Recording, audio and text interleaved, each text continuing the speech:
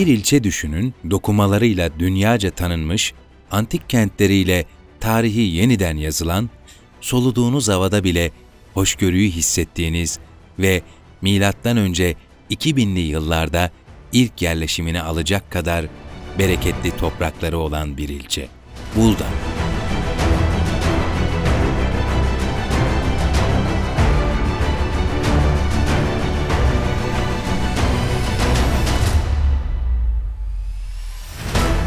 Buldan tarihinde Persler, Firikler, Silüsler, Lidyalılar, Hititler, Romalılar ve Bizanslılar egemenlik kurmuş ve ilçede yaşam izlerini bırakmışlar. Buldan adı 1530 yılında yazılmış olan Muhasebeyi Vilayeti Anadolu defterinde görülmektedir. Bu defterde Denizli, Kütahya Livası içinde bir kaza olarak görülmekte ve bu kazanın köylerinden birisi de Kaş, Yenice Bucağı'na bağlı Buladan köyüdür. Bazı kaynaklarda da Arapça harflerin okunuşuna göre Boldan, Boladan olarak okunabilir. Bu görüşlerin dışında 1834 yılında yazılmış İngilizce bir kaynakta Buldan'ın adı Bulladan olarak geçmektedir. Bu kelimenin kökeninin de Buldan'a yakın olan Tripolis antik kentinin bir dönem Apollonos Hieron'u olarak anılması ve Bulladan kelimesinin Apollonos kelimesinden geldiği düşünülmektedir.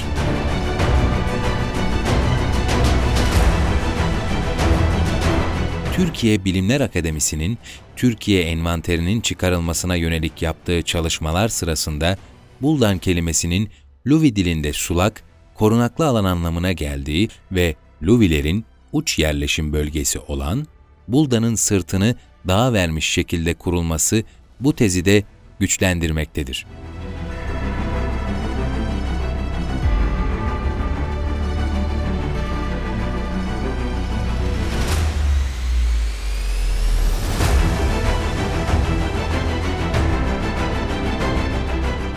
Buldan ekonomisi çok eski tarihlerden beri dokumacılık temellidir. Kumaşın neredeyse tüm çeşitleri Buldan'da dokunur.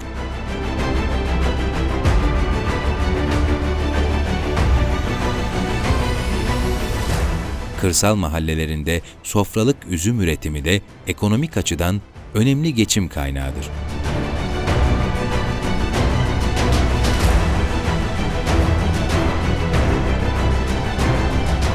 Rakım olarak yüksek olan Alandız, Kaşıkçı, Kurudere ve Yayla mahallelerinde organik kestane üretimi yapılmaktadır. Alandız mahallesinde ayrıca kestane şekeri tesisi mevcuttur. Dünya kekik üretiminin büyük kısmını gerçekleştiren Türkiye'de Ege bölgesi özellikle Denizli ili bu üretimde en fazla paya sahiptir.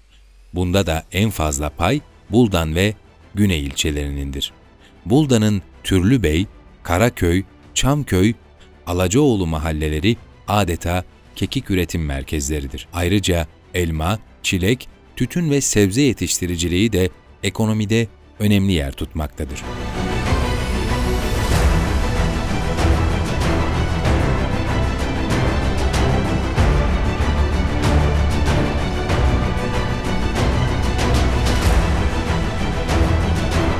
Bulda'nın tarihi evleri tüm özellikleriyle koruma altına alınmıştır. Koruma kapsamında Bulda'nın üç mahallesinin tamamı ve bireysel olarak yapılmış olan 200'e yakın tarihi Buldan evi koruma altına alınmıştır.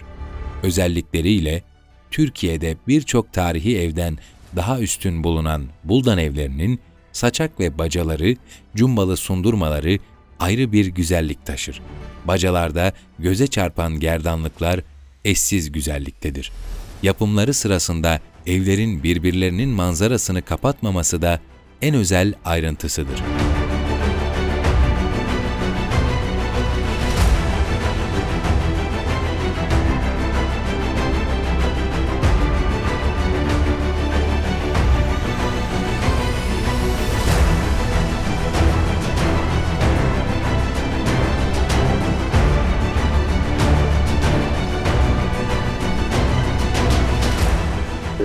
Buldan dokuması için değil aslında buldanın dokumadan ziyade e, bu eski tarihi evleri de en az dokunması kadar kıymetliydi. Ama e, bu geç kalınmış bir davranış. Eğer ki bundan 40 sene önce, 35 sene önce bu işler ele alınmış olsaydı Buldan ne Safranbolu ne Kastamonu ne Şirince ne başka bir yere benzeyen bir yerdi. İnanılmaz yapılarımız vardı. Sonra e, Anıtlar Kurumu bazı evlerimizi sit ilan etmeye kalktığı zaman biz hepsiyle düşman olduk. Onları evlerimizin güzelliklerini göstermemek için onlarla kavga ettik. Evimize sokmadık. E, çünkü sonunda başımıza büyük çorap örüleceğini zannettik. Yani bazıları bu işten gerçekten hala muzdarip. Çünkü pek çok eski yapı hala sit konumu aldığı altında. Hiçbir çivi çakılamıyor ama evin içinde oturacak bir durum da yok. Bu kişilerin başka e, bir mekanları da yok. O evin içinde yaşamak mümkün değil. Kapı yok, pencere yok. E, bu, te, bu tabirde e, tamirat ruhsatı, inşaat ruhsatı vermeyeceği için kişiler bu kurumlardan, bu işlerden korktular. Keşke bu iş dediğimiz gibi bir 40 sene önce ele alınsaydı da bu yapılar bozulmadan önce bu iş yapılsaydı. Buradan gerçekten inanılmaz bir yapıyı sahipti. Çok da az olsa da halen bu yapılardan var ama e, bence artık yetersiz. Çünkü e, birisi bir tarafta birisi ondan çok daha uzak bir mesafede bu şekilde olursa e, gelen bir misafiri gezdirme, gösterme şansımız yok. Çünkü haydi bir tanesi karşıya kadar, bir tanesi yukarı bucakta, bir tanesi gölbaşı, bir tanesi çaybaşı. Çok e, mesafeli birbirine bu mekanlar.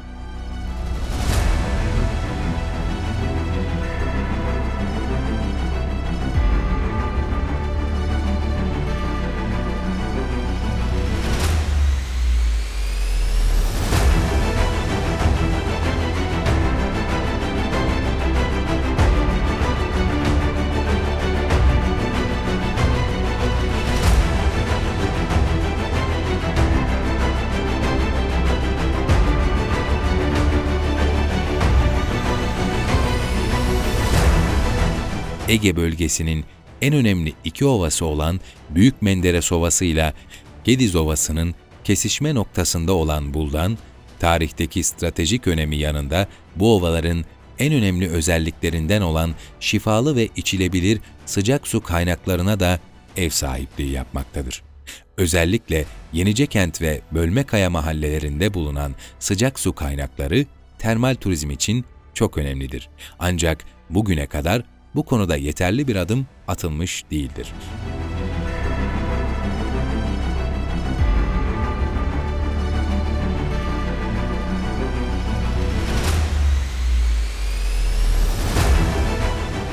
Anadolu topraklarında ilk ilmekler M.Ö. 6000 yıllarında ilkel el tezgahlarında başlar atılmaya.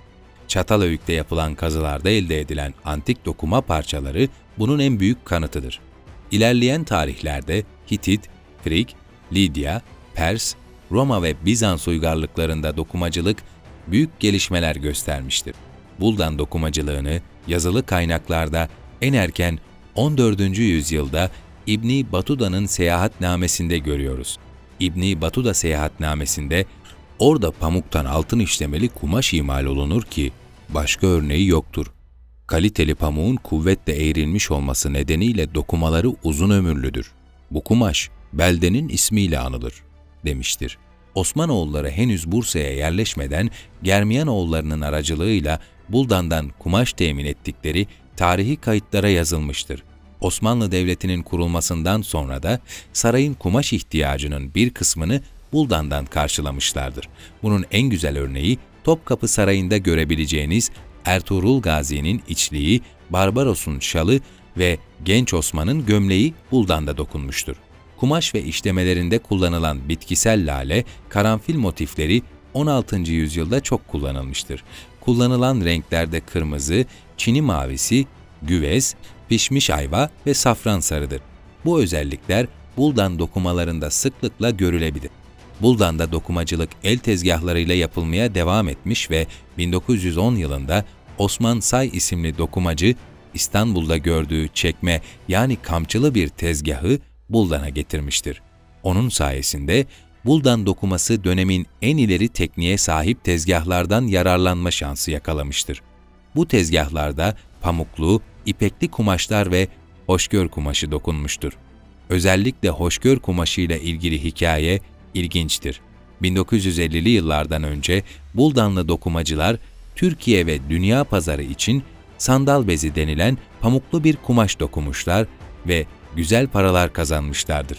İşte bu yıllarda elinde kalan ipliği ve ipeyi değerlendirmek isteyen Süleyman Tansöker isimli dokumacı, ipek ve pamuk ipliği karıştırarak yeni bir dokuma türü yaratır. Eşinin, Süleyman ne yaptın, bu dokumayı kim alır diye kızmasına karşılık, hanım hoş gör bu seferlik böyle oldu demesiyle hoşgör diye anılan bu kumaş uzun yıllar Buldanlı dokumacılara iyi bir geçim kaynağı olur.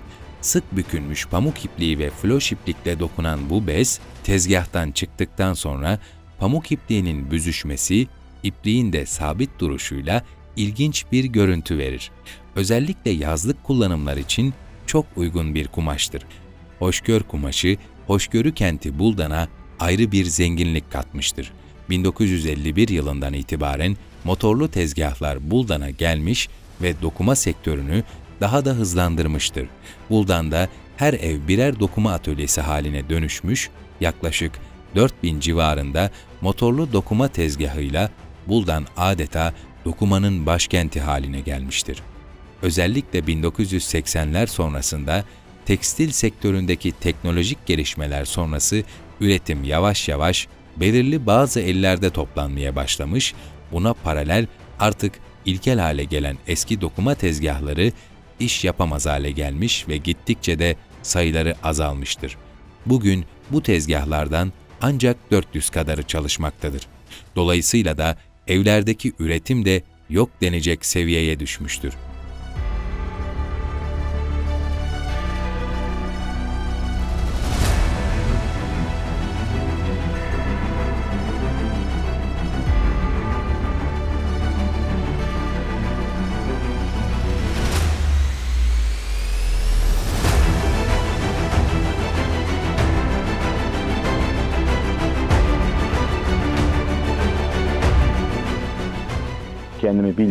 14 yaşından beri ortaokuldan sonra bu işi yapmaya başladık ve hala devam ediyoruz. Buldan dokumasının e, aslında temelidir. Ama e, dışarıdan gelen veya işin içinde olmayan insanlar çözgünün ne olduğunu bilmezler. Sadece malını veya dokuma tezgahındaki halini görürler. E, onun o aşamaya gelmesi her türlü şeysi çözgüden geçer. Malın ne şekilde dokunacağı, ne kadar genişlikte olacağı, ipliğin e, inceliği, kalınlığı bunlar hep çözgüyle alakalıdır. Onları biz e, burada gelen e, ipliğin çeşidine göre, numarasına göre, e, tez sayısına göre ayarlarız. Ona göre metresini ayarlayıp levent haline getiririz. Ondan sonra dokuma tezgahında dokumaya girer. İlk e, çözgüde bobin takmasını öğrendik. Sonraki süreçlerde artık e, bunların dem atma deriz biz. İplerin tek tek sıralanması. Onları daha sonra artık e, yavaş yavaş çözmesini ve ne kadar iplikten e, ne kadar metreler çıktığını, bütün matematik hesabıdır. E, onları öğrendik.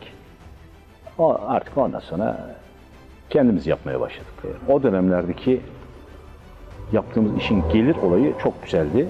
Biz onun için okumadık. Buradan da genelde de böyledir. E, mesela o, şöyle söyleyeyim size, benim ablam öğretmen.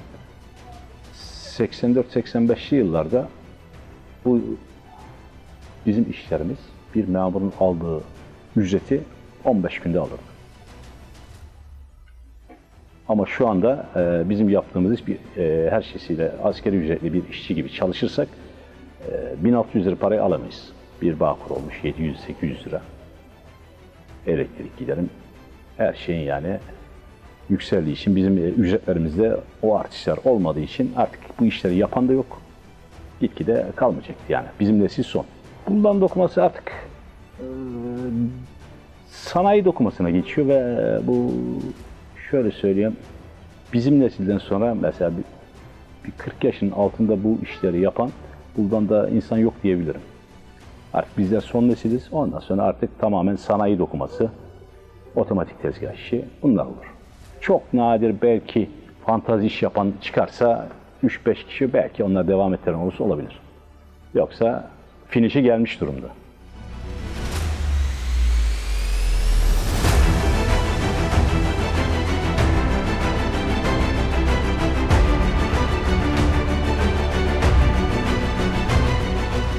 Ee, 9 yaşında bu dokuma serüvenine girdik. Yaşım oldu 57. Bir 25 sene bu dokuma makinelerin montajı, e, toplaması, ayarlarıyla uğraştım 25 sene. Şimdi biz, benim çocukluğumda genelde Bulda'nın ev, evlerde yapılırdı. Hemen hemen her mahallede e, her evde diyebilirim e, dokuma tezgahı vardı. Maalesef şu anda 15 yıl, 16 yıl önce çıkan o polyester denen iplik ile kendi mesleğimizi öldürdük. Pamuğu iptal etmiş olduk. E, o polyestere geçmeyle mesleğimizi bir şekilde öldürdük. Şu anda çalışan, aktif olan 250 300 civarında bir jagarlı kara tezgahımız, demir tezgahımız var. Ve şu anda yine 500'e yakın e, yuvalı dediğimiz bu peştemal tezgahlar var. 3000-3500 tane dokuma tezgahımız vardı Buldan'da. Şu anda bayağı da bayağı da azaldı. Valla insan e, yaş olarak biraz ilerledikçe bazı şeyler daha rahat görebiliyor. Efendim söyleyeyim. E, daha iyi kavrayabiliyor. Bakışı daha farklı oluyor. E, baktığın yere daha dikkatli bakarsan daha iyi şeyler çıkarabiliyorsun. Yaş ilerledikçe ben bunları öğrendim. E, bu ustalık yaptığımız dönemlerde güzel kazalar geçirdim. Makinelerden düşme, kısmalar, bazı şeyler yaşadık. E, hiçbir zamanda kızarak, öfkelenerek bu işi yapmadım. Hep severek yaptım yani. Bulda'nın ilk beşinci Jagar tezgah bizlerdeydi. Yani ilk sıralardaydık yani. 6-7 yaşlarında evimizde e, işçimiz vardı, kafamız vardı. Selahattin abi diye. E, onları görerekten, onlarla beraber çalışaraktan 88-89 yıllarında ustalık denen olayı içine girdik yani. Bazı olaylarla karşılaştım. Ee, yapmış olduğum mesleği daha iyi yapmak için kendimi bu işe adadım. Böyle yanımda yanına gidip de çalıştığım, öğrendiğim bir ustam yok. İnşallah gelecek nesil devam ettirir. Mesleğimiz güzel. Ee, yazın güneşinden, kışında e, soğuğundan, yağmurundan, karından e, pek dışarı ilgimiz olmaz yani. yani güzel bir meslek. E, benim hoşuma gidiyor yani, seviyorum yani mesleği.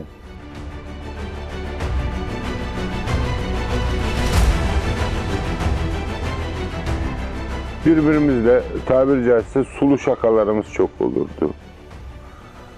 Ee, birbirimize e, maddi manevi e, bir zararı dokun, dokunmadan şakalaşırdık, oynaşırdık.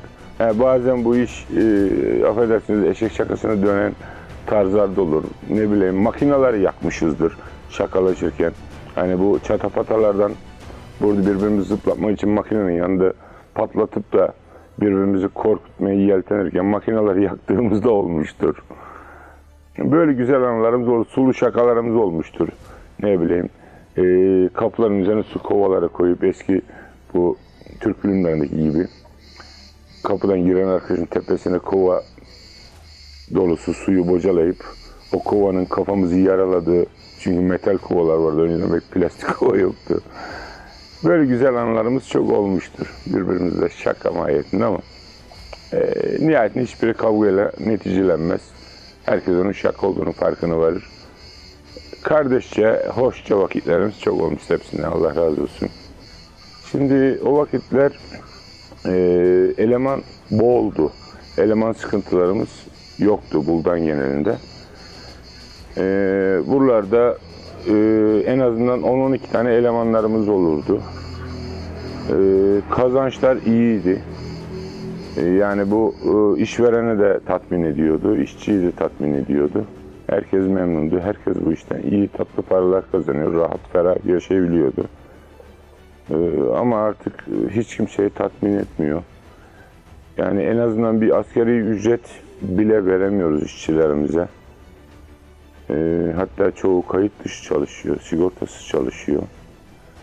E, artık onlar da bu saatten sonra bir sürekli devamlı bir fabrika gibi bir yerde iş yapmaları mümkün değil.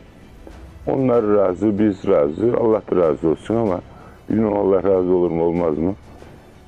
Ee, bu şekilde devam ediyoruz ama çocukluğumuzda, gençliğimizde bu işler çok daha zevkli, çok daha neşeli, çok daha tatlıydı. Artık o neşe, o zevk maalesef yok.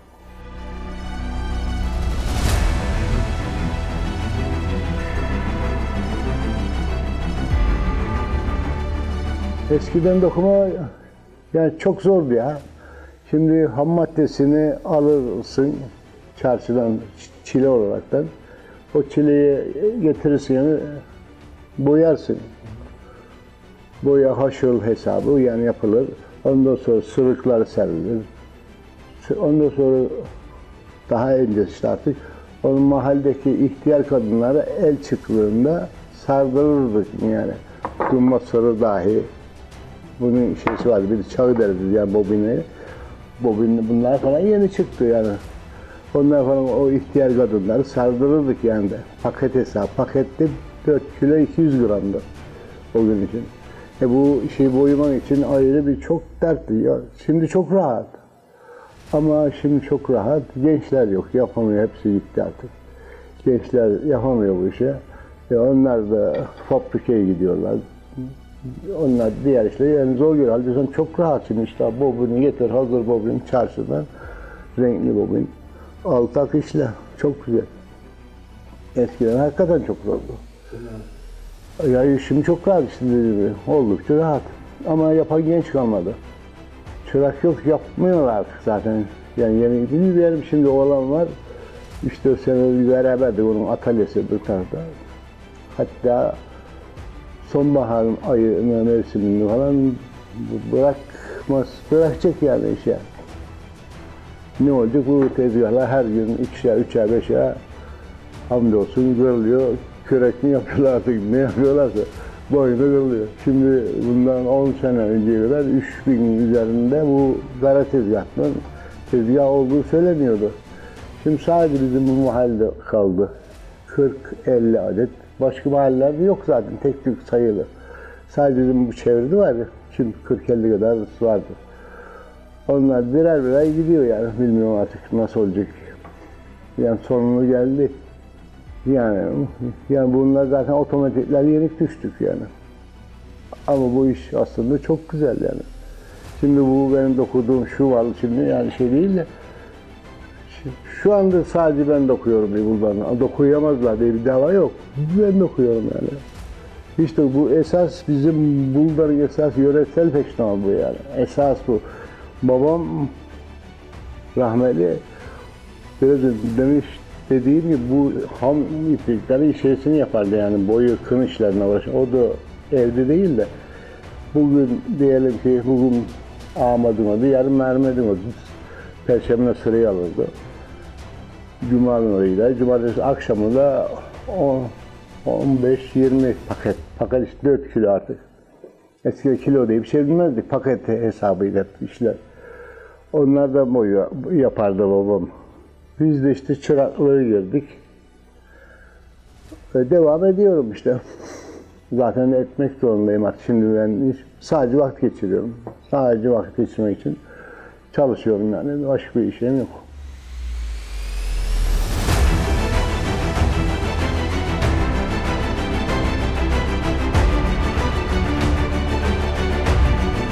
işlemecilik olarak çalışıyoruz. Buldan tanıtım üzerine. Evlerimizde, iş yerlerimizde, böyle mekanlarda kendimizi yani günlük olarak haftalık e, hasılatımızı çıkartmaya çalışıyoruz. Bunu da tabii ev emeğimize yani katkıda bulunmak için kendimizce yani bir para ücret alırız veririz işleme yaptığımız yerlerden. Perşembe günü oldu mu herkes işinin yani yapmış olduğu emeğin karşılığını almak için patronlarına gider. Oradan ücretini talep eder gelir. Böyle bir hayatımız olur. Ben 5. sınıfta bu işin başını geçmiştim. O zamandan bu zamana bu evi geldiğimden beri yani 32 yıl oldu evliliğimiz. O günden beri yer işlemeciliği yapıyorum. Yapmaya çalışıyorum. Evlatlarıma öğretemedim. Öğretmeyi çok istedim ama onlar başka zanaatlara atıldılar. Onlar terzilik üzerine. Bundan evvel terziliğim de vardı benim. Terzi olarak da çok çalıştım. Konfeksiyonlar şurada burada. Evimde de yaptım. Ama bu işi daha uygun gördüm. Çünkü eski eski mesleğim olduğu için geri dönüşüm yaptım. Ve bu iş dedi yeteneğim ön planda. Sarı Suzane de sarı iş diye olarak geçerli. Yani dünyaca yani tekstillerin başa baş koştuğu kaptanlardan tut, kap- kaptan diyorlar ya gelinlik üzerine. Ondan tut sırma işlerden tut her türlü işi seccade, yatak örtüsü, pike her türlü işe girer bu. Ev tekstilinin her çeşidinde vardır işlemecilik.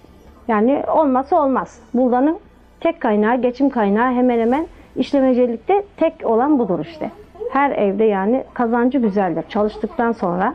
Bir de değerli işler yaptıktan sonra çok güzeldir. Kazançlarımız güzeldir. Yani bu işçiliğimizin biraz daha böyle gelişmesini isterim. Yeni nesillerin de bu işe yönelmesini, bu işin ölmemesini isterim. Bizden sonra gelecek olan nesillerimizin de, torunlarımızın da bu işlerden yani öğrenip beceri kazanıp bu işin ölmemesini isteriz.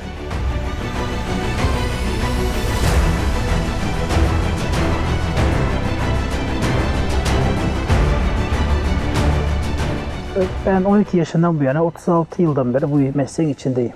Ustam e, Ali Keskin denirdi, Dede Ali. Eskiden mesela evlerde daha fazlaydı üretim. Yani e, bir şu bizim mahallede yani atıversen bir en az bir 15-20 evde dokuma tezgahları vardı. E şu an makinalaştı yani bu teknolojinin gelişmesiyle makinalaşıncaya kadar evdeki o olay bitti. Sanayiye inildi genelde. Yani gene mahalle aralarında var yani. Ee, yani dokumacılık yani eskiden olduğu gibi yine bizler yaşatmaya çalışıyoruz. Yani şu an zaten yapılan bizim siparişe dayalı bir üretim. Mesela bize patronumuz veya mal verdiğimiz kişi bana şu şu malı doku diyor. Biz onları dokuyoruz. Onların yani taleplerini, isteklerini yerine getirmeye çalışıyoruz.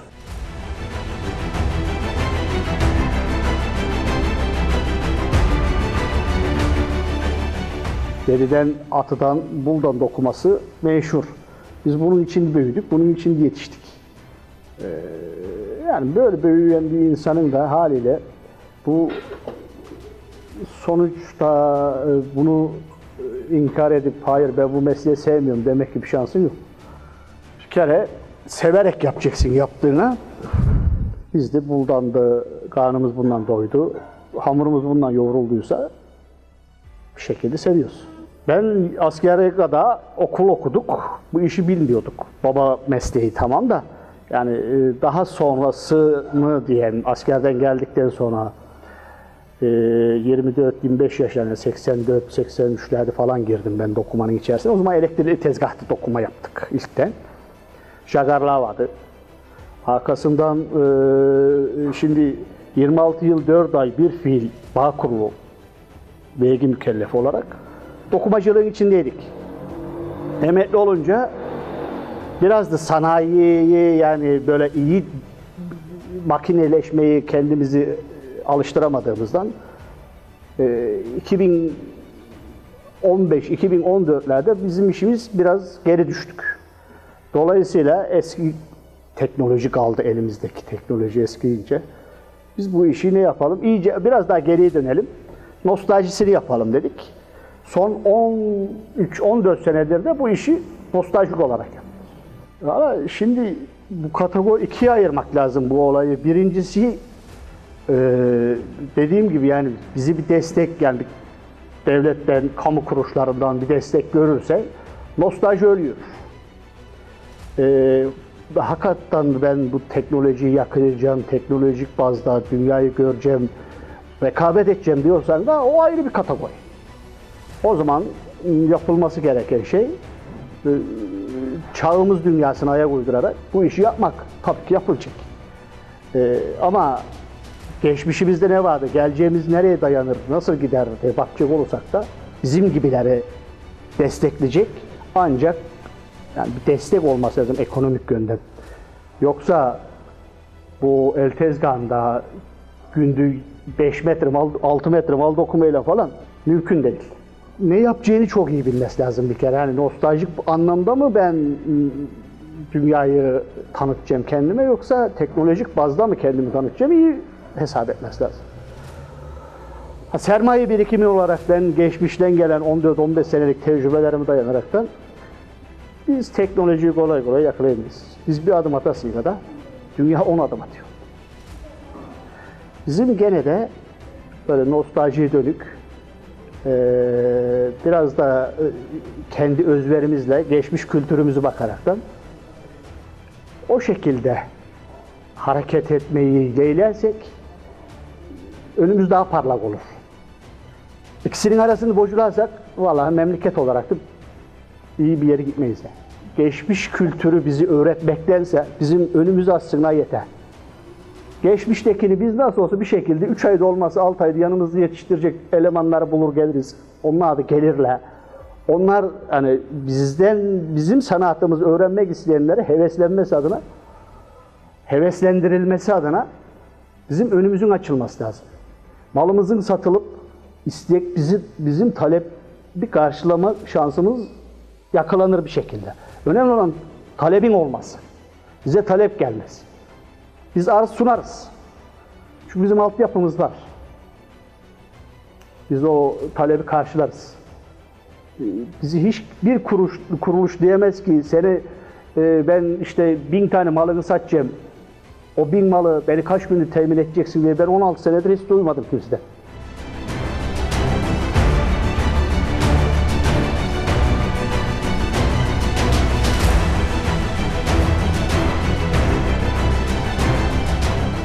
...960 senesinden beri dokuma, dokumacıyız. Daha evvel çulhaydı. Sonra dokumacı oldu. Şimdi tekstil oldu yani dokumacı. ismi tekstil şu anda. Babadan, dededen babadan yani. Babadan geliyor. Tekstil evveli çok zordu. El, el dokuması vardı, kara tezgahlar vardı. Şimdi çok rahat. Daha evvel el tezgahları vardı. Ondan sonra kara tezgahlar vardı 60'tan sonra. Şimdi bilgisayarlı tezgahlar var. O zaman dört tezgahımız vardı. Şimdi on tezgah var. Buradan dokumacı geleneği ilerisi güzel.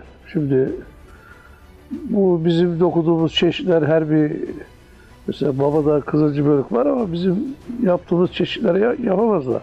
Uğraşmazlar yani. Burada biraz daha uğraşılıyor.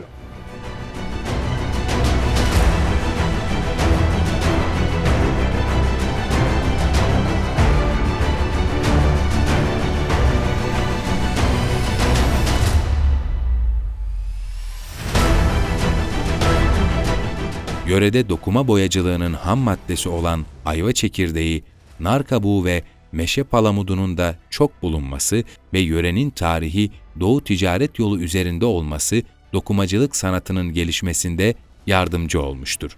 Bölgede kazıları devam eden Tripolis antik kenti kazılarında bölgedeki dokumanın tarihine ışık tutacak malzemeler bulunmuştur.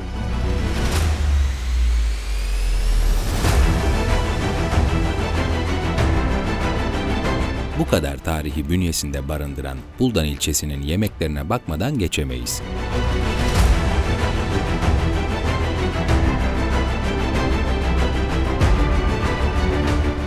Önde gelen birbirinden lezzetli yemeklerinden bazıları şunlardır. Buldan güveci, çıntar kavurma, ekmek dolması, göce aşı, kabak çentme, kuzu kapama, keşkek, kuru kabak dolması, kuzu göbeği kavurması, pekmezli kabak yemeği, telli kavurma, tilki kuyruğu, kedirgen kavurması, yalancı dolma, çağla dövmesi, hoplatma, gılgatma, kabaklı bükme, saç böreği, kölle, otlu pide, olmaç, balcan soğan, patlıcan soğan, sıyırma tertolaması, börülce salatası, yoğurtlu kuru biber, börülceli tarhana çorbası, buldan simidi, nohut mayalı ekmek, sütlü simit, tarhanalı bükme, incir aşı, incir tatlısı, reçeli, kabak tatlısı, karanfil şerbeti, karlama, kar şerbeti, karpuz kabuğu betseli, köftü, kuyruk helva, patlıcan tatlısı, patlıcan betsel, saraylı tatlısı, tahinli pide, tenem helva, börtme turşu, haşlama turşu, düğün turşusu, ıspanak kökü turşusu.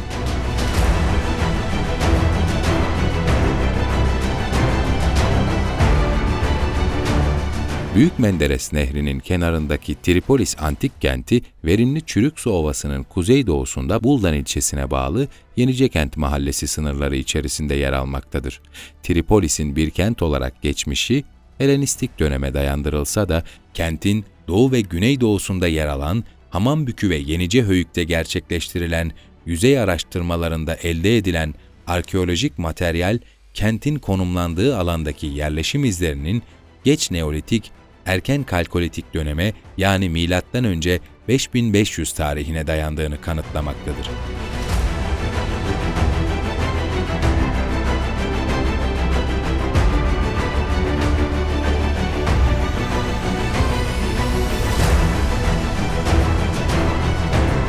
Buldan ilçesinin denizden 1150 metre yüksekte bulunan eşsiz güzelliği, Yayla Gölü, bölgeye gelen her gezginin muhakkak uğradığı koruma altındaki bir alandır. Göl içerisinde nilüferlerin bulunması ve göl alanının %15'inde ağaçların yetişmesiyle göl derinliğinin fazla olmadığı anlaşılmaktadır. Göçmen kuşların uğrak yeri olan gölde, sazan ve yayın balıkları yaşamlarını sürdürmektedir.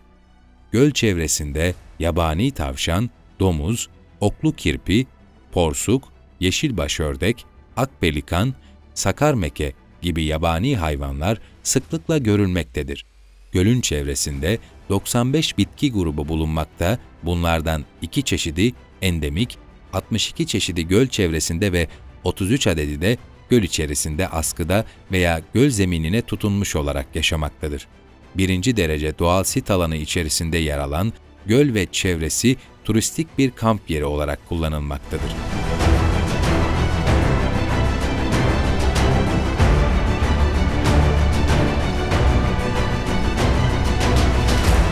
Buldan'da doğmuş ve Türkiye'ye mal olmuş önemli kişiler vardır.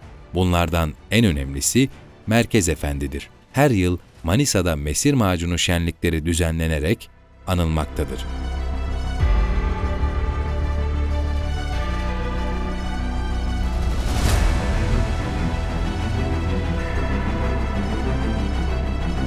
Her yıl bu mahallemizin yaylasında Merkez Efendi adına hayır yemeği düzenlenmektedir. Buldan'da doğan diğer önemli kişilerden birisi de Doktor Behçet Uz'dur.